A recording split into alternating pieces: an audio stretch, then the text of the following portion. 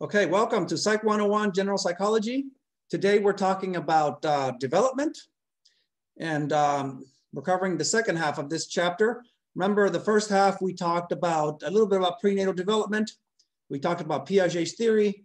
We talked about Kohlberg's theory of moral development. And we talked about uh, Mary Ainsworth and the strange situation and we and the different uh, attachment styles, okay? Today we're getting into a different theory uh, and then we'll start another one after this, okay? So first we're gonna talk about Diana Baumrind's uh, parenting styles. Diana Baumrind, I believe, was uh, Mary Ainsworth's uh, student. She was a graduate student of Mary Ainsworth. And uh, she took Mary Ainsworth's research further. And she also did observations, uh, you know, of children and their parents. And, uh, and she noticed that uh, they fall into certain categories as far as parenting okay? And she noted that there's different parenting styles, okay? And here they are. So the first parenting style that she noticed uh, was she labeled as the authoritative parenting style. I'll tell you right off the bat, this is supposed to be the appropriate, the good kind of parenting, okay? This is what is uh, encouraged here in the US, in Europe and Canada, basically the white Western world, right? Uh, this is what's supposed to be the uh, good kind of parenting. Other cultures, if you're Asian, for instance, Latino, um, other parts of the world, uh, they may believe in a different kind of parenting style, but this is supposed to be the best one according to our perspective here as Americans, okay? Or the Western world, okay? So the authorita authoritative parenting style, right? Uh, there is discipline, okay? So authoritative parents uh, have rules for their, their children, right? You're not allowed to do this, this, or this, right? This is when you go to bed, and this is when we do this, right? There are rules. And the rules are also explained. This is why you need to go to bed at this time. It's because we have school tomorrow and it's early. This is why you're not allowed to play on the street. You're going to get hit by a car, right? They explain the rules. They also enforce the rules. If the rules are broken, there is punishment. Okay. but the punishment is not severe, by the way. The punishment is kind of uh, medium, okay? It's in the middle, okay? Um, and importantly, the rules are adjusted with age. Little kids, by the way, need very strict rules. No, you can't play on the street. No, you can't cross the, you know, the street by yourself. Yes, you have to go, go to bed by 9 p.m., things like that. Okay, no, you can't use the pool by yourself because you're gonna drown. Okay, we need to watch at all times right? No, you can't use the pool right now. Mommy's busy. I can't watch you, so you can't use the pool, right? Uh, there are strict rules for little kids. As they get older, the rules can be a little bit different, okay? For instance, teenagers need different rules. For teenagers, uh, yes, you can go out with your friends as long as you call me and tell me where you are and you check in with me, right?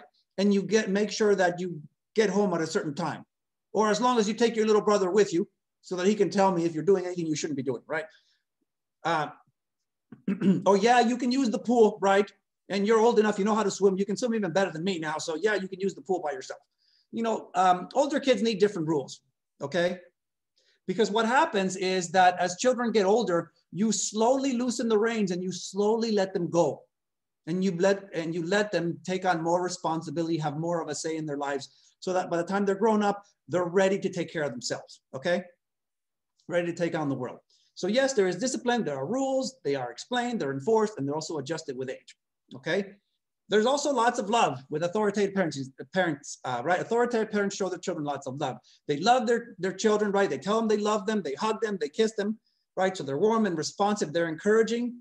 They tell them things like, oh, you can do anything you want as long as you put your mind to it, as long as you work hard enough, right?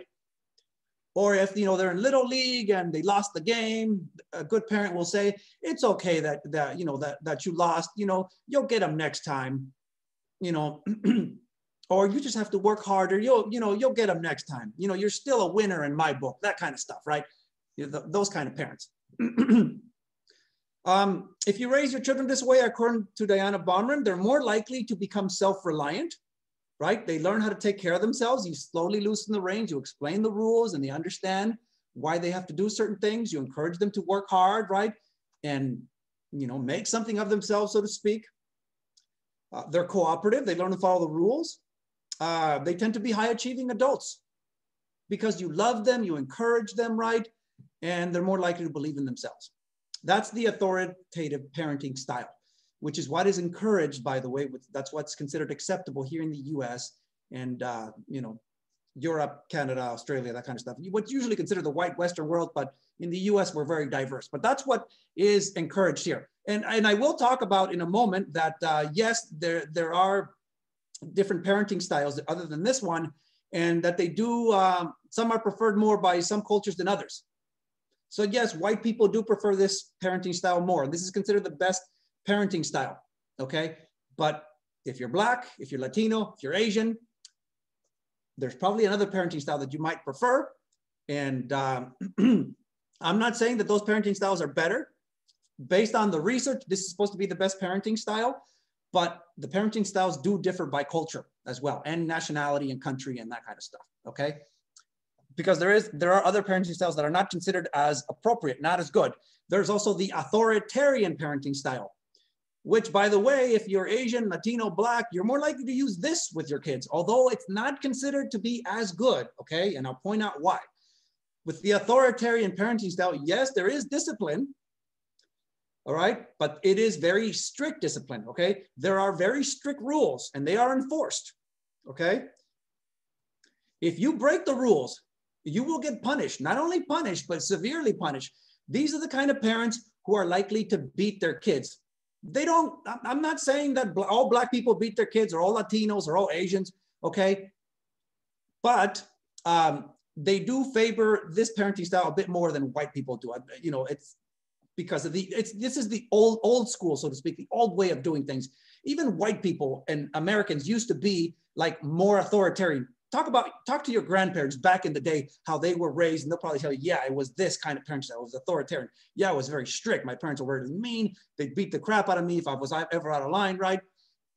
Latinos black people asian people tend to be a little bit more mean a little bit more harsh with their kids. They're more authoritarian okay? They believe in strict discipline okay? Uh, problem is the rules are not explained okay? It's like why can't i go out and play with my friends right? Or why can't I go to the party? The explanation that's given is because I said so. And when you live under my roof, you follow my rules. It's my way or the highway, right? You're not allowed to question my authority, that kind of stuff, right? I'm the parent, you're the child. Um, not all parents who are authoritarian, by the way, beat their kids. Some of them do. By the way, beating your kids nowadays is considered child abuse. You're not allowed to beat your kids anymore, to slap them, punch them, kick them, whip them with that belt or hit them with that chancla. That is inappropriate child abuse, okay? You're still allowed to spank them, um, but it has to be open palm, over their clothes, not under their clothes. You're not allowed to leave bruises, okay? If you do leave bruises, you do are beating up your kids, bruising them, you can get into trouble, have your kids taken away and, you know, have, and you could end up in jail for that. Um, and they don't adjust the rules with age either. Say, I don't care that you're a teenager and you think you should be hanging out with your friends or going out. It's like, no, you're not allowed to go out. You follow my rules. You do as I say, right? They don't adjust the rules with age. And that is a problem, okay? Because they're always very strict. Children who are younger need stricter rules than children who are older, okay? But there's lots of discipline, okay? These are these authoritarian parents, right? Um, there's not much love, by the way. So love, it says none or basically not much. Um, there, they might be a little bit, but not much, okay? They're emotionally distant. They're more like the cop who is gonna enforce the rules and they're just waiting for you to mess up so they can beat you or punish you. They look at you like they don't even like you, that they know you're gonna screw up your life and that somehow they're gonna have to pay for it. And they don't wanna do that. So they're very strict, they're very mean. They don't really tell you they love you, they don't really hug you and kiss you. They don't really tell you you're, you're going to grow up and do wonderful things in your life. Uh, they're more basically uh, looking at you like, you piece of crap, you know you're going to mess up. And when you do, I'm going to be there to bust your ass. That kind of stuff, right? Almost like the cop, right? Uh, they're very mean, okay? They don't really show you much love. And that's really bad, by the way. You need to love and encourage your children. These parents don't do much of that, okay? the results, if you raise your kids this way, they're more likely to become law abiding. They learn to follow the rules, so they're more likely that they're going to follow the laws too, right?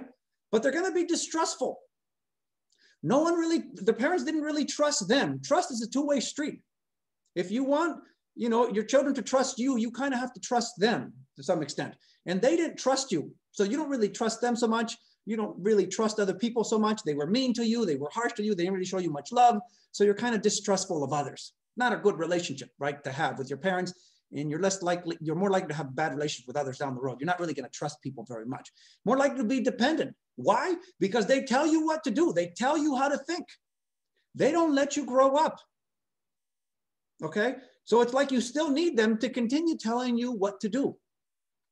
And I'll tell you something else about this uh, parenting style. Okay.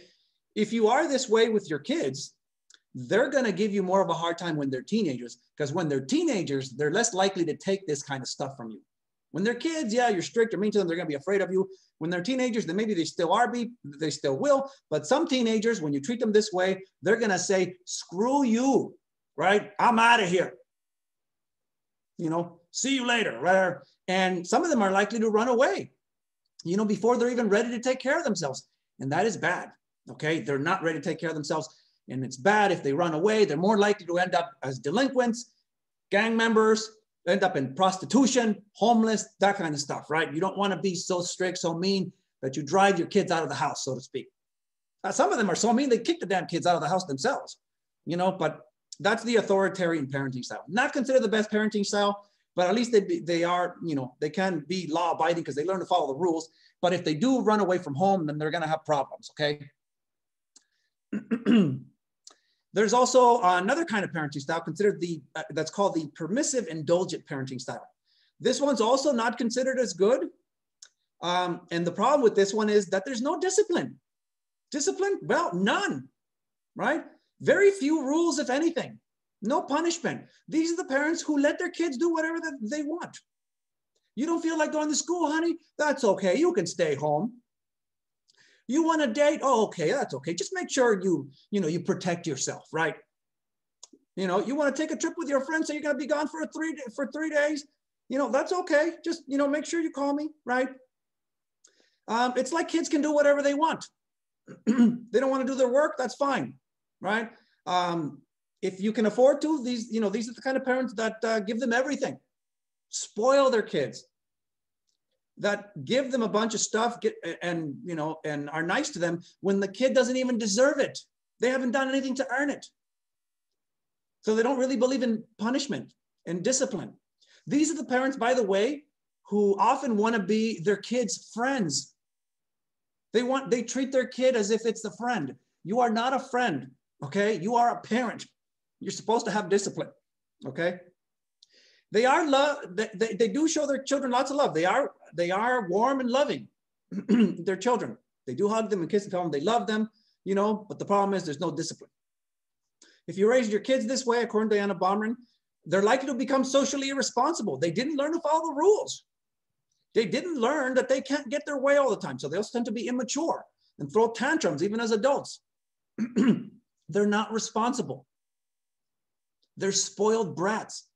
And I'm sure you guys have seen on TV and the news how certain people act like spoiled brats and, and get into trouble. And we usually hear about celebrities, by the way, because, you know, the rest of us, you know, middle class, lower class, whatever, you know, when we do something bad, doesn't end up in the news because, you know, we're not that important. But a celebrity acting up or doing this or that or throwing a fit over here, they might end up on the news or on social media, right? Uh, acting socially irresponsible, acting like immature brats, basically. They're spoiled, you know, is basically what it is. That's what happens when you uh, are a permissive, indulgent parent. You basically end up raising a spoiled brat. And you cannot function like a spoiled brat when you're an adult. Because when you're an adult, if you don't follow the rules, you're going to get in trouble. When you're an adult, right, if you don't compromise to people, if you don't treat people right, you're going to get your butt kicked. Okay. That's what happens to you. Okay. So, um, not the best kind of parenting, but at least they do love their children. There's a kind of parenting that's even worse. That's the worst one of all, okay? And that's the permissive, indifferent parent, the uninvolved parents. These are the ones that physically, mentally, one way or another, they are not there. it could be that they're locked up in jail, you know, or it could be that they're drunks, drug addicts, and they're just not there mentally, psychologically. Or maybe they are there and they just don't give a damn, you know? It could also be maybe that they're working too damn hard, right? They're working two, three jobs and they're never home. and you basically, you know, you, you know, you go to school on your own, you come back, you let yourself into the house, you, you fend for yourself, so to speak. That's the permissive indifferent parent. Okay. Uh, they're not around one way or another to take care of their kids. This is the worst one. So there's no discipline. They're not there. Okay. There's no love because they're not there either. There's emotionally indifferent. Maybe they don't give a damn about you or they're just not there and can't really show you any love. Okay. So you end up kind of raising yourself to some extent. And what happens when children raise themselves? Usually bad things. Kids don't know how to raise themselves. Not even teenagers don't know what the hell they're doing. Teenagers can be very emotional and moody and uh, and just uh, irresponsible. So what happens if kids are raised this way, or basically there's no one there to parent them, is that they well they tend to become dependent. They don't know how to do things. They don't know how things work. So they kind of need other people to help them out. They tend to be impulsive. They didn't learn to follow the rules. Undisciplined. They'll do whatever the hell they want when they want because that's the way it's been. No one was there to tell them no, that you can't do this. This is not right. You're going to get into trouble. No one was there. So they're impulsive, undisciplined adults. Irresponsible with bills, with employment. You know, they didn't learn how to become adults. There's a reason why you have parents. They're supposed to teach you things and guide you, right? And prepare you for the, you know, adult world that comes later. But if they're not there, you actually get into some really messed up stuff. You're more likely to be abused, you know, uh, because no one's taking care of you. You're more likely to get into trouble. Um, and you don't know what you're doing. Children don't, don't know how to raise themselves. You might think as a teenager, when you were a teenager, that you knew everything and that you maybe you would have been able to raise yourself, but chances are that no, you don't. Okay. A lot of gangsters, delinquents, people who get into a lot of trouble come from this kind of parenting. No one was there for them. And that's the truth, you know, it, for a lot of them. Some of them, by the way, do become delinquents and gang members and stuff like that, despite their parents trying their best and, and, and being there for them. But there are others who really are criminals or bad people or whatever it is because no one was looking out for them, so to speak. And, th- and that does happen, you know, but I will tell you that there's also many children who come from this or, or people who come from this kind of parenting and they turned out okay. It doesn't happen for everybody. Sometimes you just grow up faster and you learn how to take care of yourself and you have to do what you have to do, right? They don't all become dependent, impulsive, and undisciplined, but a lot of them do. Okay, you don't want kids raising themselves, so to speak. That's the worst kind of parenting. And those are the four kind of parenting styles that Diana Baumrind noticed. Okay, um, sort of kind of building on Mary Ainsworth uh, attachment styles. We have another theory to talk about, and it's Erikson's um, stages of uh, social development. Erikson's theory is interesting because it's a lifespan theory. It basically starts from birth and goes all the way to death. There are eight stages. And the thing is that at each stage, there is a challenge. There's kind of a crisis. There's something that must be resolved. And if you resolve it the right way, then there's a virtue to be gained. Okay. And I'm, I'm giving you here the simple version of Erikson's um, theory, so it's easy to understand. Okay. But the first stage of Erikson's theory is called basic trust versus mistrust. Okay. Birth to about two years of age. You know, that first stage of life, Erikson said, okay, so what does the child need to determine during that first stage of life? The child needs to determine, right, if the world is trusting and loving or is it scary and hurtful? Okay. Birth to about two years of age. Uh, I mean, you're born helpless, dependent. Those first couple of years, you're at the mercy of your parents, you know, especially during the first couple of years. And this is er, this is this is the time um, when you learn how to trust, according to Erikson. That's why it's called basic trust versus mistrust. If you have positive experiences, your parents do a good job of taking care of you, of raising you during this time, then you develop a strong attachment to your parents. In other words, you have a secure attachment, you love them, you trust them, they love you, and they take care of you. You're more likely to have good relationships with other people, teachers, and uh, friends, right? More likely to have positive future relationships, romantic relationships. Guess what? This first stage of Erikson's theory, right?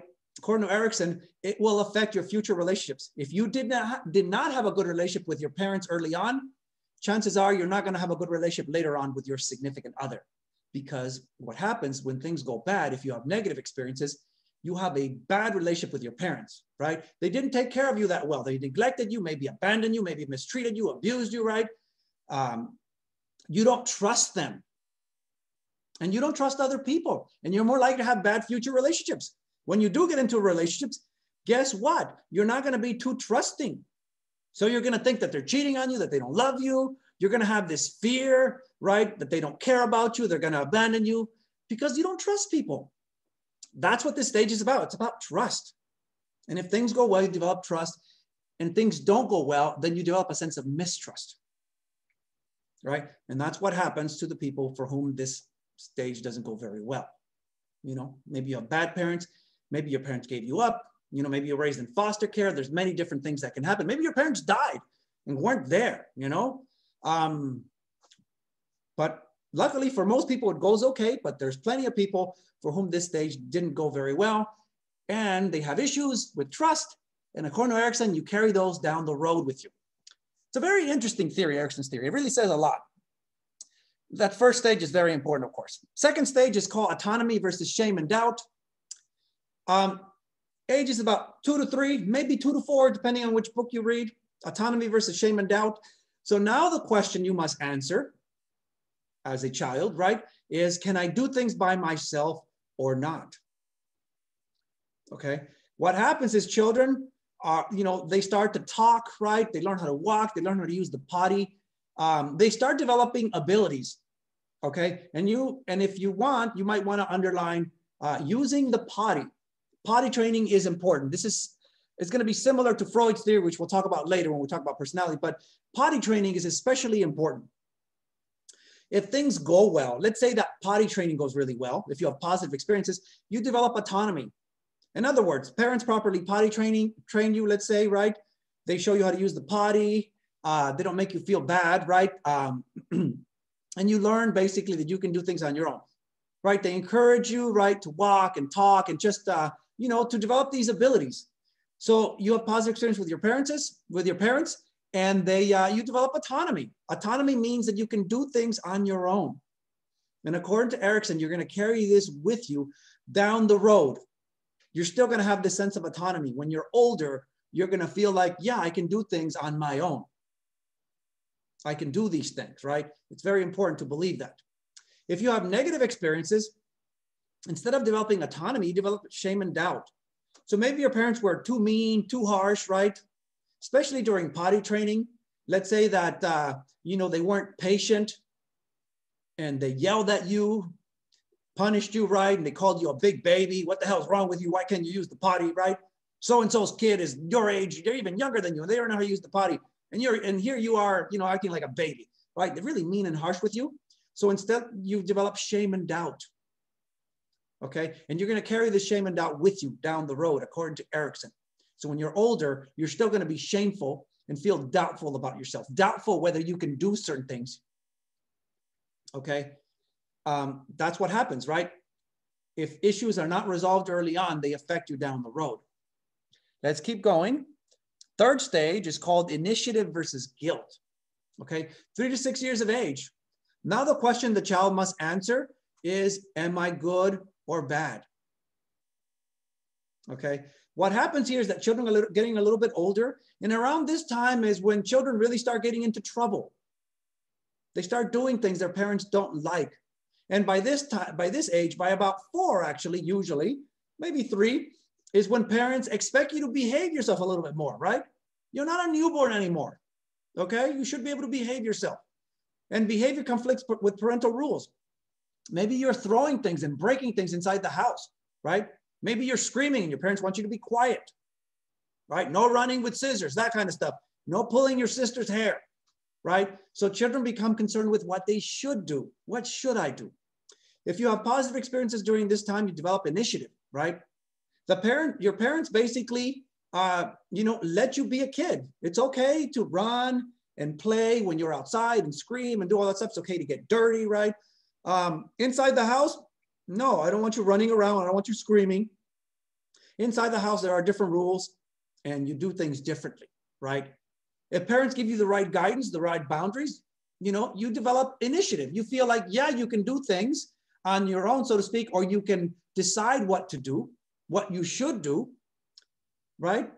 Uh, with you know with guidance, you develop initiative, which means you're a self-starter. You don't have to be told what to do. When you get older, this is going to be important that you have initiative, right? Because here you are in college. Do you have initiative? If you have initiative, no one needs to tell you that you need to study, that you need to work hard, that you need to do things a certain way, right? If you have that initiative. But if things didn't go well for you early on, from ages three to six, right, during the stage, you had negative experiences. Let's say your parents always told you, no, no, bad boy, bad girl, don't touch that, cochino, marrano, whatever it is, you know, uh, no, uh, you know, and they always want you to behave yourself. They don't let you be a kid. They don't even want you running around and screaming out there, right? Picking up that stick or that rock. Don't touch that. You're to get dirty, right? Uh, they're too mean and too strict. And what happens is that children don't develop initiative, according to Erikson. Instead, they go around feeling guilty. And they have to ask, as children, is it okay if I play now, mommy? Can I do this? Can I do that? And they feel like they always have to ask. And they go around feeling guilty. When you're older, you're gonna, you're gonna have this guilt with you still, according to Erikson. So let's say you're in college. You know you need to study, you know you need to work hard, but you don't. You don't have initiative. And instead you just feel guilty I should be doing this, should be doing that, ah, but I just, I just don't want to. I'm just, I just can't do it, right? You need somebody to tell you, you know, so to speak, somebody to make you, to force you, right? Instead of doing what you should do, you should, you just go around ex experiencing guilt, right? That's a problem. So that's the third stage, initiative versus guilt. Stage four, industry versus inferiority, seven to 11 years of age. Okay, these are very important school years, by the way. By this time, you're in school, and it's it's it's your first several years in school. I think you start, I think first grade or about six. You could have started school before this, but these especially are very important school years. So the question now you must answer is, am I successful or am I worthless? Relationships widen from family to peers. You're spending a lot of time in school by this time and you have your friends, you have your peers. And what happens is you compete with them, you compare yourself. And you want to know about where you stand. You know, are you smart? Are you good looking? Are you popular? Are you athletic? Kids care about a lot of different things. And this is the time when they really compare themselves. If things go well for them, if they have positive experiences, they develop a sense of competency. They feel they can do things well, that they can get things done. And that is also called industry, a sense of in industriousness, right? I can produce things, right? I can do things well. I can do things right, right? Academics matter as well. How good are you at writing and reading and math and all that stuff, right? Academics matter. I can tell you that matters, right? Uh, athletics matter, looks matter. You also compare yourself on looks with other kids, right? On athleticism, on popularity, and uh, and behavior. How well behaved are you? Are you one of those problem childs, right? Or are you uh, are you well behaved? All those things matter, and children kind of know where they stand. And if things go well, if they compare well, they develop a sense of competency. They feel good about themselves. They have positive self-esteem. They feel they can do things well. They compare well. There are other kids who have negative experiences and will instead develop a sense of inferiority. Maybe they're not as good academically or maybe they feel that they are not as attractive, not as athletic, or not as popular, or whatever it is. And because of that, they feel they don't compare well and they feel inferior. And they have low self esteem. And according to Erikson, you're going to carry this with you down the road as a teenager, an adult. You will still feel inferior. You will ha still have low self esteem. But if you develop competency, positive self esteem, sense of, a sense of industriousness, then you will feel good about yourself later on. You're more likely to feel good about yourself because you believe in yourself. You know you can do things well. That's industry versus inferiority. And then we enter the next stage, which is very interesting. The next stage spans the period of basically adolescence to the early teens, right? The central thing during adolescence, according to Erikson, is identity. Identity versus role confusion identity versus role confusion. Okay. So you're an adolescent, start puberty, right? You're an adolescent, let's say. Let's say you're around 12, 13, 14, 15, right around there. That's when this uh, stage is happening, right? Early adolescence, early teens, identity versus role confusion. So now the main thing is the question you must answer is Who am I? Who will I be? Who am I? Right? What should I be doing with myself? All those things. Um, you may experiment with certain roles, different lifestyles. Yes, teenagers have a, a tendency to experiment, right? Especially with their hair. They want to wear their hair a certain way. They might paint their, you know, dye their hair pink or green or, or something else, or maybe they they're they're gonna they they want to you know be like the skater type and dress a certain way with those vans and those you know those jeans with the holes in them or whatever it is. Uh, experiment with certain lifestyles. You know, maybe they try that they, they feel that they're athletic and they're going to try being a jock, or maybe they find out oh, I'm one of the smart kids. I'm, I'm you know going to be the nerdy type or whatever it is. You know, the popular type. Kids find that they fit into certain roles, certain lifestyles, certain cliques. You know, maybe in junior high and in high school. That's when that starts. Um, but the question is, who am I? Who will I be? You know, and they're trying to figure out who they are. You know, am I a dork, a nerd? You know, am I uh, an, an athlete? Am I the popular type? Am I just the cool type? You know, um, there are also, by the way, uh, unhealthy exper- unhealthy roles in lifestyle. There's those that experiment with drugs and delinquency and gangs, and there are some that get involved sexually too early, okay? And that is unhealthy. Um, but it's about identity. You're trying to figure out who you are and what you're going to do with yourself. And that is why during this time, that is why you're so self centered and you care so much about how you look and you care so much about what you wear and your hair. And I know some of you are still like that, but it started during this time because it's about identity. You're trying to figure out who you are. So you focus a lot on how you look and how you come across to other people. If you have positive experiences during this time, you develop a stable, healthy identity. You figure out who you are basically, even without verbalizing it, and you realize, hey, I'm one of the smart kids. You know, I'm just gonna work hard. I'm gonna take these AP classes, and I'm gonna go on to college, right? Or maybe you figure out, you know what, I, I'm uh, I'm the military type. I'm gonna go into the military. Or maybe you figure out that, you know, hey, you know, I'm one of the cool kids, and I'm just gonna hang out and have fun and party or whatever it is. And that's what they do, right? Uh, but there are others that have negative experiences, develop an unstable identity and are confused about who they are. They experiment with certain roles, right, lifestyles, and they don't seem to fit in, right? And uh, because of that, maybe they'll try other things. They'll try unhealthy things. So maybe they don't fit into the different groups. So maybe they'll start using drugs and hey, let's see what this does, right? Or maybe they'll start hanging out with the gangsters, the delinquents, the druggies, right? And uh, that's unhealthy. Or maybe they're just confused about who they are, don't know who the heck they are, and they're just all, you know, angry and uh, and anxious, and they're messed up psychologically. And I can tell you that a lot of children are messed up, uh, messed up, so to speak, and don't know who they really are because they come from broken homes. If you don't know who the heck you belong to, who your parents are, it's harder to figure out who you are. When mom and dad are both home, guess what? That affects your identity a lot. A lot of who you are has to do with who they are. And here's the truth most of you, you're going to grow up and be just like your parents. Their identity is kind of be similar to yours. You can be different, but most of you, you're going to be just like your parents. You're going to look like them. You're going to age like them. You're going to have similar habits, similar ways of thinking. That's the way it is for most people. But guess what? If dad left because it didn't work out with your mom, then guess what? You as a boy during this time are going to have more likely to have trouble, right? Who are you? Right? What does it mean to be a man? Right? It really does uh, have an effect on people's identity. Or maybe if you were adopted, you don't even know who your real parents are and you know you were adopted, right? You can be very confused about who you are. I've known people who are extremely confused, people who raised in foster care didn't have any idea who the heck their parents were. I've never met them. And they're, they have more issues with identity. I remember one person, she didn't even know what her ethnicity was. She didn't know if she was black or white or Latino or Asian or anything. She looked like she could have been any of those. Because by the way, there's a lot of variation among ethnicities or so-called race. Race isn't real ethnicity is. There's a lot of variation. And there are people who are kind of somewhere in the middle and they could really be considered anything.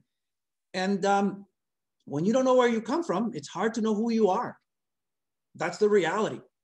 And I'll tell you more about identity. Identity is influenced a lot by what you, what you see on TV and on the internet. during the 70s, this is what people wanted to look like. This was what was considered cool. So a lot of people wanted to look like this with the long, shaggy hair, you know, the tight, shiny pants, you know. Um, that's what was cool back then during the 70s. Talk to some of your parents, maybe your grandparents, maybe your grandparents, right? You guys are younger, maybe your grandparents, and they'll tell you, yeah, I wore the bell bottoms when I was young. Yeah, I had the shaggy hair and, you know, and maybe the beard and stuff like that. Uh, the people who are musicians, cool, popular on TV, that's kind of the people who we want to be like. We tend to copy our identities, right? We tend to copy, first we try to copy who's cool on, on there. And then we realize that we're just like our parents and we're going to be just like our parents. That's what ends up happening. But we try to be cool. And this was cool. This is what was cool during the 70s. And then came the 80s, and the 80s were all about the big hair, right? The big hair, you know, that's what it was. You know, rock was popular, right? Um, and this is what people want to look like. By the way, this is my own biased perception, but I do remember. Yeah, I remember Michael Jackson. He had the long hair too back then, right? So did Prince. You know, uh, and all these rockers over here, right? Um, I was a kid during this time, right? And I remember that. Yeah, I wanted to look like these dudes, knew these people. I grew my hair long as a teenager. I had hair down on my shoulders. I wanted to be one of these rocker dudes, right? That's what was cool. And then I learned, yeah, I, I, eventually learned and figured out, you know what? I'm not one of these rocker dudes, right? I'm not one of these dudes, right? I'm just, uh, uh, you know, a smart kid. And, uh, you know, I mellowed out and, you know, cut my hair and, and then became like everybody else, went to college. And that's what happens. Uh, then came the 90s. The 90s, I see it more of a period of transition, right? Uh, you know, rock was kind of on its way out in the 90s, the hard rock, right? The heavy metal. And it was more now about hip hip hop and rap, right? And uh, you know that kind of stuff. And and and but grunge was still in. I see grunge and Nirvana and Pearl Jam and all that stuff as kind of like like the end of kind of like the rock era, you know. And after that, things totally changed. But it's kind of a transitional period. I remember things are getting overly sexual. Now you have to be cool and tough or whatever it is. It's always kind of been that way. But that's what I saw during the 90s. And then the 2000s, right? And it it's became hypersexual. Now, if you're a woman, you have to be sexy and show lots of skin and uh, and if you're a guy you're, you know you're tough and kind of cold and you know you don't give a shit about anybody you know and that's what kind of was cool in, in the 2000s and i'm older now by the way now we're in the 2020s we just started 2020 to tell you the truth i don't know what's cool anymore right i'm uh, i'm out of touch i'm older i'm setting my ways i still listen to my music from the 80s and 90s right? there's some stuff modern music i listen to but most of the stuff i like it's that hard rock, it's that classic rock, because all considered classic rock now, right? It's that stuff from, uh, you know, a lot of stuff from the 90s, right? Uh, it's mostly rock. You know, I was one of those rocker dudes. At least I wanted to be, right? But the point is, we tend to copy our identity. But it really helps when you have a mom and dad who kind of, you know, help you shape that identity. You know, but eventually you end up becoming like your parents. Even though we want to be cool, you'll find out most of you not cool, okay? And you're gonna be just like everybody else. That's the reality. Some of you might, you know, be, you know, someone that becomes like one of these people who becomes famous or popular. Most of you will not. That's the reality. But I know, remember in high school and stuff, in junior high, um, the most people I grew up with, some of them did become famous. I know of a couple of people, not extremely famous, right? Um, but famous enough, you know, they're rich and they're wealthy. And uh, one of them's on TV, you know, Another one's a senator. Uh, one of the, actually was a representative in California. Not as, as you know, there's there's senators at the kind of federal level, and then um, you know, well, the senators from California have always been the same ones. He wasn't one of those, but representative, as a representative of California, he's in politics now, and yeah, he's uh, you know, he's uh, he's a very influential guy. But there's another girl who actually is on TV. I won't show you, I won't tell who she is, but she's on TV. A lot of people know her. It's more in the Spanish TV, okay? Not English, but she's, and, and for the Spanish audience, uh, she's uh, she's well known. I went to school with her. Oh, and don't forget, uh, actually, uh, Oscar de la Hoya. I'm sure you guys have heard about that. The famous boxer, right? Gold medal winner, right? Uh, actually, he's been like several years, been like 20 years, I think, probably since he's fought. He was the best boxer for a while. Guess what? He went to my high school, right? he was like a couple of years, or uh, I don't know how many years, maybe two, three years ahead of me. Uh, maybe a couple of years, but he was, uh, yeah, he went to my high school. So there are some of you, perhaps you in the future, or you know, might make it big, and but most of you will not. And that's the reality. Most of you are just going to be just like everybody else. You're going to be like your parents. hopefully more successful, but you know, life is tough. Um, stage six, intimacy, intimacy versus isolation. Okay, you're a little bit older now. Now it's your now it's young adulthood, late teens, early 20s, right? Uh, in your late teens, early 20s, you are different than when you're in your early teens. Early teens, you're you're kind of very shallow, very concerned about your appearance. You still are during this time, but now it's a little bit different. Now, now it's, you're a little bit more mature and, and you, um, you're a little bit different. You can still be quite irresponsible and shallow, by the way, during this time. A lot of people are. But according to what Erikson believes, according to Erikson, um, this stage is called intimacy versus isolation. And it's that for a reason. This is the time, according to Erikson, when the main question is, will I find someone? In other words, you want to find someone to settle down with during your late teens, early 20s. You want someone to love you and someone that you're going to love. For most of you, things will go well and they'll be okay. And you'll adjust to living with other with someone else, develop a successful relationship. You find someone, you move in together, maybe you get married, you know, maybe you have kids, but uh, you find someone, okay? There's some who have negative experiences and feel lonely, feel like they're never going to find someone they're getting a little bit older, you know, uh, and parents start pressuring them, hey, when are you going to get married? When are you going to give me some grandkids, right? That happens later now, by the way. Uh, this stage is a bit outdated. Most people don't settle down now in their late teens, early 20s. In other parts of the country, like in the Midwest, they kind of still do. But most people now, no, it's more like their mid 20s, late 20s when they settle down and get married. But you're concerned about finding someone way before that. And this is a time when it's really important when you really want to be with someone. Okay. At least that it is right. But settling down, maybe not until later. Hopefully you find someone, it lasts, the relationship lasts for years, then you decide to get married. But hey, man, I didn't get married until, what, how old was I? Um, been married for about, uh, I think it was like 35 when I got married. I waited, went to college, went to graduate school, eventually found you know, the person who was going to be my wife, but uh, you know, we waited. We were together for like five years before we got married. And that's what happens. You know, for some people, it happens a little bit later than others. And more people are putting it off. Okay. But, you know, yeah, you'll find some people, you'll date this person, that person, you know, and uh, get your heart broken several times. And eventually you'll find someone that you're going to settle down with. And even then, it might not work out. You might end up divorced. That's the reality. But that's this stage intimacy versus isolation. And by the way, I want to point out those things that happened to you earlier will affect you here. They, you know, things that happen to you early on will affect you at the later stages. Guess what? If you have a good sense of identity, if you know who you are, it's going to be easier for you to find the right person. If you have a sense of competency, right? If you feel good about yourself, if you are trusting, all those things matter. Uh, later on, you enter the stage of generativity versus stagnation. Late 20s to retirement. This stage will span decades. It can span like 40 years. This is the stage where I am at. At this time, you're basically, uh, you found someone, you've settled down, you're working is really what's happening here. Okay, established a career and you're working. And the question is, will I succeed as a parent and worker? Will I produce something of value to society? Okay.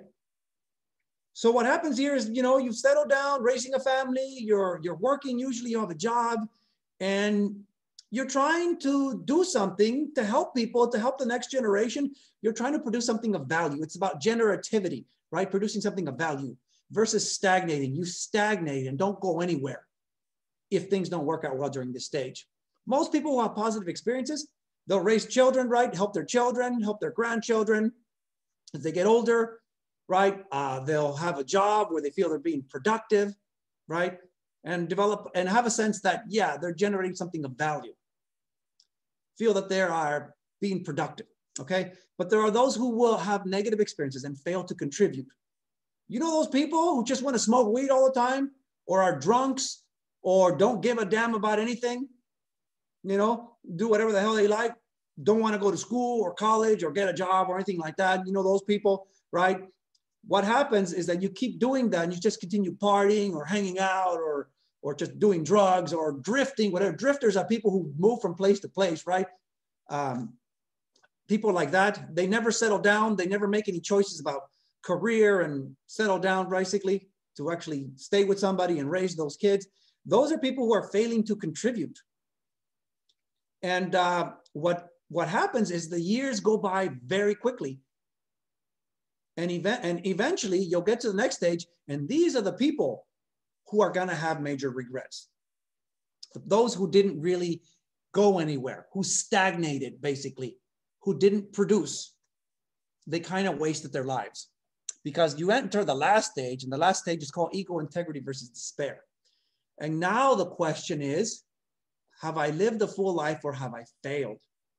If you feel that you've lived a full life, right, you've got positive experiences, then you have a set, you're filled with a sense of integrity, a sense of wholeness, right? You're content with your life and your choices, okay with your past, not too many regrets, okay with the way things are going now, and still looking forward to the future. You don't know how many years you have left. You have left. You might have decades left, or maybe just a few.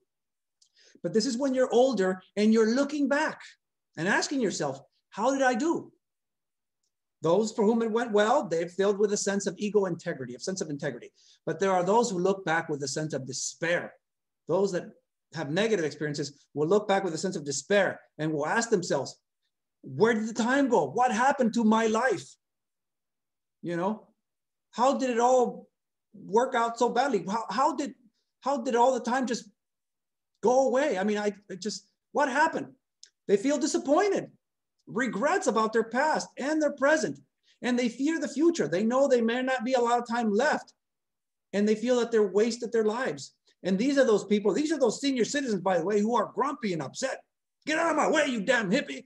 You know, that those kind of people, the ones who are mean, they have a lot of regrets and disappointments.